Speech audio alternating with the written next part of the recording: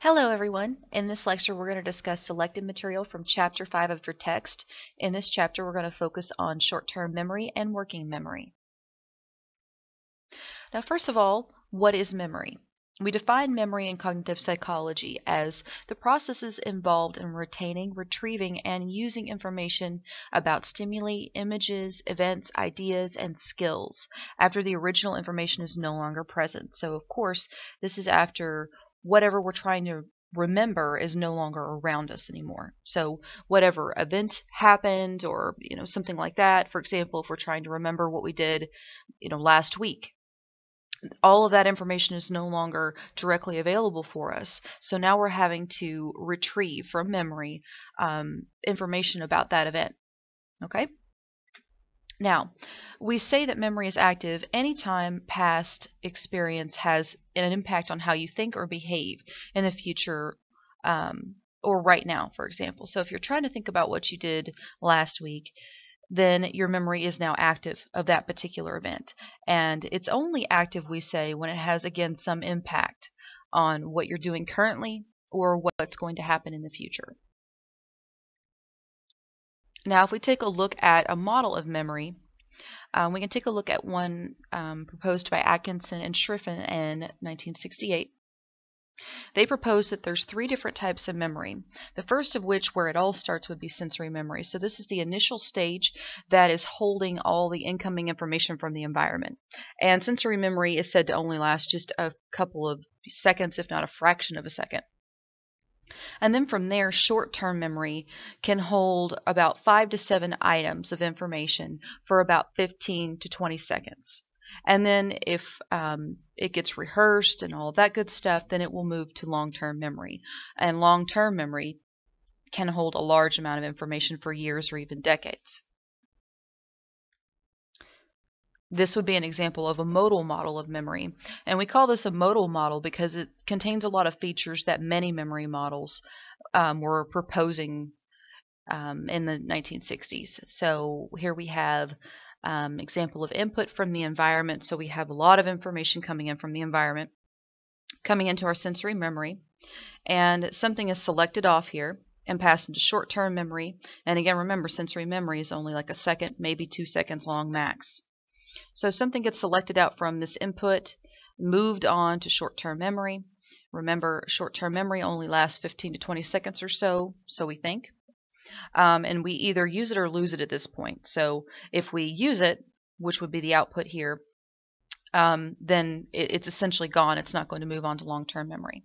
Now, keep in mind, when we do something like this, this is kind of like where we're repeating the digits to a phone number, trying to just remember it long enough to dial it. That's what would be a good example of just short-term memory straight to output. Now the other option is to rehearse. We can rehearse this and then uh, with enough rehearsal this will move it to long-term memory. So this will last uh, quite a long time. And if we want to retrieve from long-term memory then we have to first retrieve and then move it back to short-term memory so we can use it in the present moment.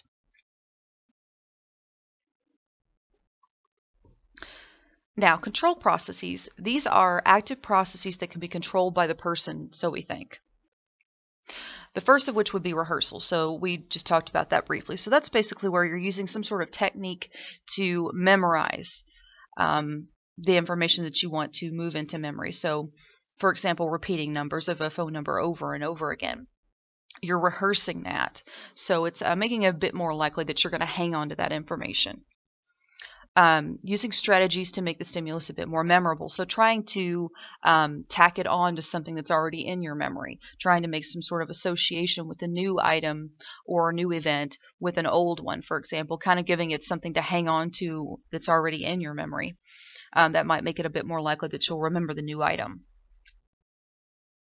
And also strategies of attention. You know, remember we talked about attention already in the last chapter. Strategies of attention that help you focus on specific stimuli. So using some sort of um, strategy when you're trying to focus on something that might help you um, do a bit of a better job at focusing on a specific stimulus in the environment to be remembered later.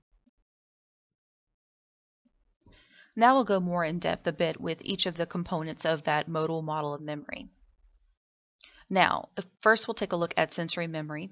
Uh, we define this formally as the retention for a for very brief periods of time of the effects of sensory stimulation. So this could be any kind of sense that we um, have activated by the environment. So it could be touch, smell, um, auditory, it could be vision.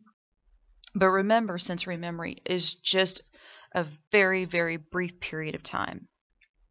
And this information that we're getting here from the environment into sensory memory decays very, very quickly.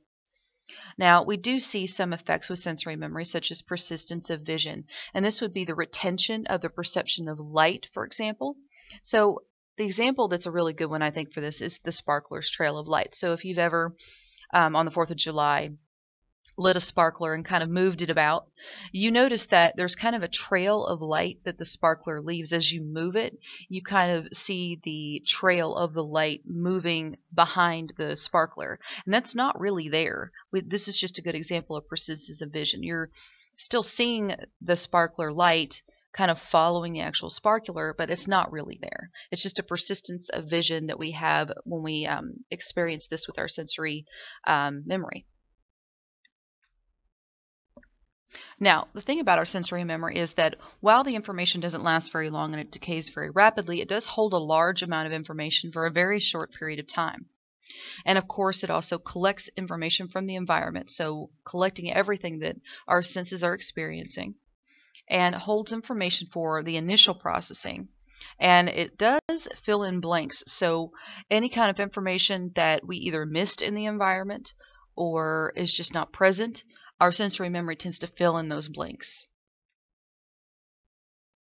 Now, how do we measure capacity for sensory memory? How do we know that it's it, it, doesn't have while it has might have a very large capacity? How do we know that it doesn't have a very long duration?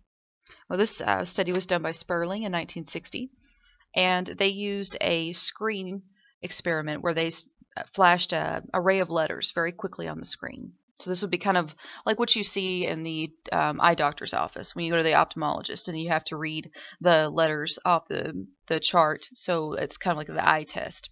Kind of like that. An array of letters would flash very quickly on the screen. And they would ask participants to report as many as possible. So as many um, letters as they saw as possible after they uh, participated in this experiment. Now, when they used the whole report method, so this is where participants were just asked to report as many as they could see.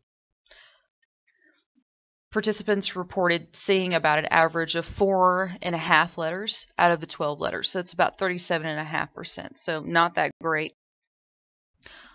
But when they use the partial report method, so this is where they're they're telling participants to um, focus on just one row of letters, for example, instead of looking at the whole grid of letters. And this would be done by um, playing a tone that would be associated with that specific row of letters. So they would have different tones associated with row one, two, three, and with enough experience, participants would recognize that tone 2, for example, would mean to look at row 2, for example. And when they did this, um, participants recalled an average of 3.3 letters out of four letters in that row. So that's an 82% average. So, um, and something else they found was that participants could report any of the rows. So um, they could be directed to any of the rows. And the last thing we can look at is delayed partial report method. So this would be presentation of the tone delayed for a fraction of a second after the letters were extinguished. So participants would see the letters first, and then after they would be shut off, then they would hear a tone. So it's kind of telling them, oh, okay, you only need to focus on row two, for example, after the fact, after they've already seen the array of letters. And performance decreases rapidly when you do this, as one might imagine. So in that experiment, looking at participants' ability to recall letters that were flashed into an array, um, what we say is kind of going on here is um, participants are using iconic memory. So this would be brief sensory memory of things that we see. So this would be kind of the remnant that's just left for maybe a second or so. When we see something on a screen, for example, and then it's taken away, we kind of see a bit of a shadow or something, kind of a remnant of what we just saw. And it's only there for just a second, and then it's gone, but we do see it there for just a split second. And we say that this is responsible for that persistence of vision, kind of like that sparkler trail, for example. And the same type thing we see with auditory as well. So echoic memory. This is that brief sensory memory of things we hear. So if I were to play you a tone, for example, and then shut it off, it would kind of echo for you for a brief second or so, even though it's it the sound's completely gone at that point. And again, this echoic memory is what's responsible for that just brief period of persistence of sound that we hear. Now, if we take a look at short-term memory, this is storing small amounts of information for a brief duration. Remember, 15 to 20 seconds or so. And this includes both new information that's coming in from the sensory stores or sensory memory, and also information recalled from long-term memory. When we're trying to retrieve something from long-term memory, the idea with this model is that it needs to go from long-term memory into short-term memory so we can immediately use it. Now, when we try to measure the duration of short-term memory, so how long does information actually last in short-term memory, we can do something like this. We can ask participants to read three letters, letters aloud and then a number, and then ask them to begin counting backward by threes. And then after a set amount of time, have them recall those three letters. Now, after three seconds of counting, participants perform at about 80% or so. But after about 18 seconds of counting, participants perform only at about 10%. So somewhere between those the three second mark and the 18 second mark, performance dips by 70% on average. Now, this reduction in performance is explained by the existence of decay. So this is where um, basically we have information that's just kind of vanishing um, as, as, a function of time. So we have a memory trace that's essentially just dying off um, due to, again, passage of time, but also exposure to other competing stimuli because keep in mind, you have constantly things that are coming into your sensory memory. So constantly things that are coming in from the environment that you're experiencing. And that's going to be competing for resources with what you're trying to hold in your short-term memory. So just as a function of time delay, your um, memory trace for that specific information is going to weaken and eventually vanish. So again, we know just from these type of simple experiments that short-term memory is definitely a limited span and again usually 15 20 seconds or so. Now, again, more specifically, we say that short-term memory, again, is about 15 to 20 seconds, but this is very important to keep in mind. This is only so when rehearsal is prevented. So this is when you are not allowed to rehearse any item. On average, it will stay in short-term memory for about 15 to 20 seconds, like we were talking about. So now we'll continue with short-term memory by looking at a couple of things that can happen in terms of interference. And the first we'll look at is proactive interference. And this happens when we have the learning of new information being interfered with by information we've already learned. So this happens again when information we've already learned before interferes with us trying to learn something new now. And um, just to give you an example, so your native language may make it more difficult to learn and remember a new foreign language, for example. Any of you all have who have taken foreign language classes when you were an older student in high school or now as a college student, um, it's really difficult to learn a second language now that you are very fluent in your native language. Um, and this is just a decent example of proactive interference where you have previously learned information, which is your native language, really interfering with your ability to learn a new language. And the opposite can also be so. This is called retroactive interference. So this is um, when we have um, new learning interfering with remembering old learning. So it's the exact opposite of proactive interference. And an example of this would be for um, just uh, after you get a new telephone number and you use it for a while, you might have a difficult time remembering what your old telephone number was. So again, just keep in mind it can work both ways. It's more situation dependent, um, and and it's probably also more dependent on what you use more. So for example, when you're learning a new language, well, you're still using your native language a lot more than your new one. And with the example of retroactive interference, once you get a new telephone number, you're using that number a lot more than you're using your old one. So it's this is probably also kind of having a lot to do with what particular information you're using more. Now, we've talked about duration of short-term memory. Now we talk about capacity of short-term memory. In terms of digit span, how many digits can a person remember? Well, the typical result for your average person is usually about five to eight items. But we have to think about what is an item. Now, when we say item and we're looking at digit span, we think it's a singular item. However, it is possible to do something called chunking. So this is where we're creating small units um, and we're combining um, small units with more small units to create larger, more meaningful units.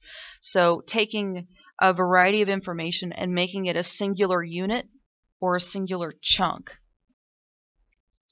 And more specifically, a, a, chunk is a collection of elements that are strongly associated with one another. So we would want to group like items together, but we also want them weakly associated with elements in other chunks. So we don't want them to be very related to other items in other chunks. But again, this is just kind of a way to increase our capacity of short-term memory by lumping like items together to create a singular item.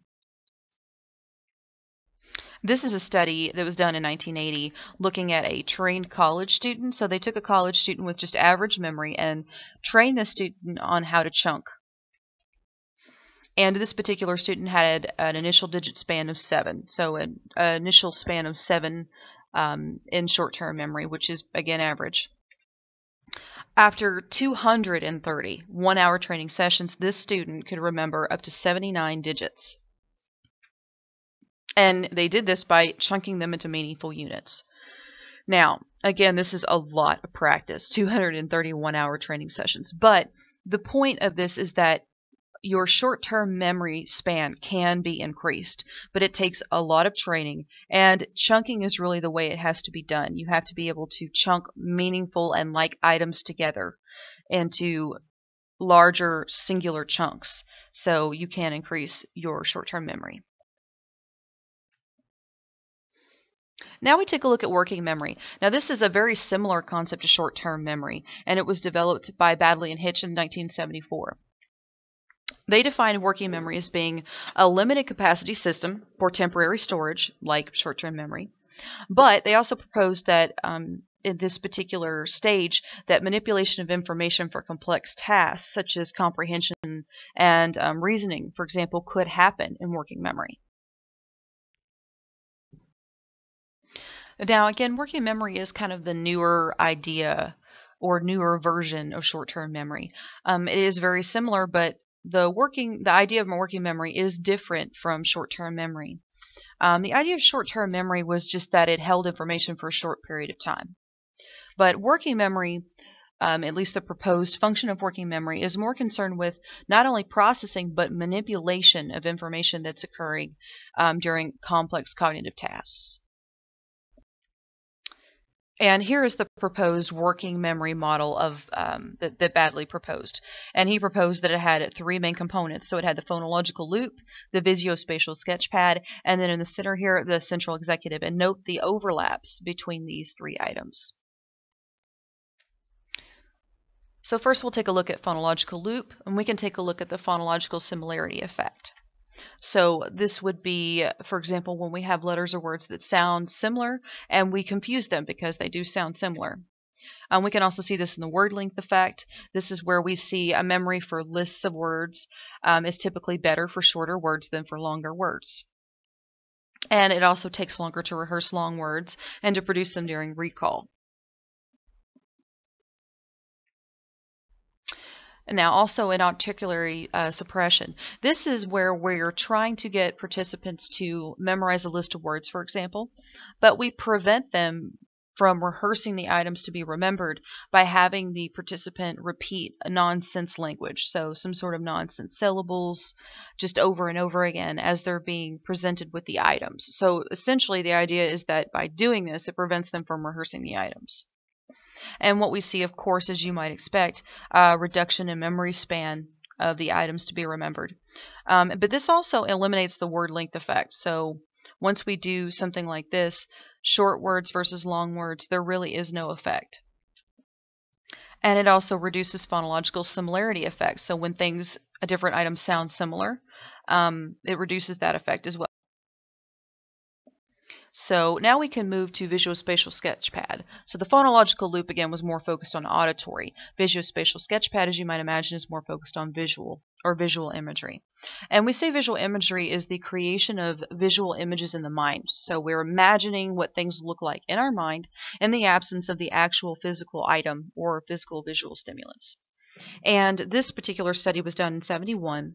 And this is a mental rotation task. So you can see the different objects here on the right hand side of the screen. And the goal would be for the participant to imagine one of those objects and mentally rotate it to match the next object. And what they found was that tasks that called for greater rotations or just more rotations, degree of rotation, took longer to perform mentally which would be uh, consistent with the actual physical manipulation if somebody were to actually physically do this task. A larger um, rotation would also take longer as well. Now, working memory is set up to process different types of information simultaneously. So you can be doing both visual and auditory, for example. But working memory has trouble when similar types of information are presented at the same time. Now, this brings us then to the central executive. That was that central item. This is essentially the attention controller. So this is um, essentially focusing attention, um, dividing attention, switching attention back and forth between items. So it's kind of directing the traffic of attention. And it also controls suppression of irrelevant information. So when we have a lot of incoming information, it will suppress what is irrelevant.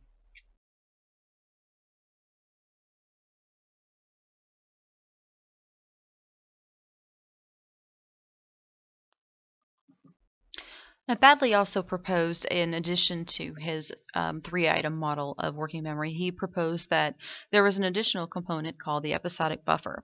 And this was just to basically accommodate for there being communication um, between this particular um, section of memory, so working memory and long term memory. So he proposed that there was a backup store that would communicate with long-term memory and working memory components. So there's kind of this buffer between working memory and long-term memory. And the episodic buffer is supposed to hold information longer than working memory and have greater capacity than the phonological loop or the visuospatial sketchpad. And here's how that fits into Baddeley's original model. So he revised the model. So we still have our three components that he had had before, but then he's also added in this episodic buffer and this communication between these these different um, um, portions of the model and long-term memory. And of course, we have the central executive kind of managing all of the different three items here. So take a look at this um, particular model more carefully in your text and just make sure you understand the role of each component of the model and take a look at the chapter as a whole, of course, as always. And have a great week, guys. I'll